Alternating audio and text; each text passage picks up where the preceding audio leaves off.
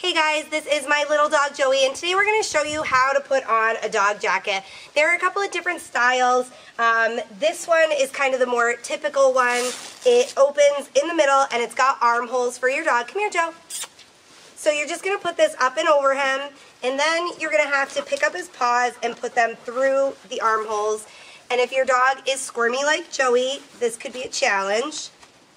And then you just either button it or Velcro it or um, however underneath. And your dog's got their jacket on. If your dog is squirmy, obviously this isn't the easiest one to put on because then when you take it off, you have to do the same thing.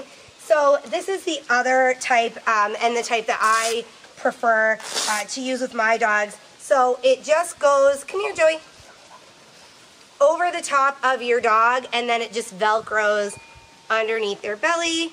Whoops, come here big guy and around their chest. This is actually my Beagle Molly. This is her coat, but that's okay. So that's it. It's just Velcro. And as you can tell with a dog like Joey that moves around a lot, it's a lot easier to use this style. Um, if you guys have any other questions, feel free to email me. Thanks for watching this video guide.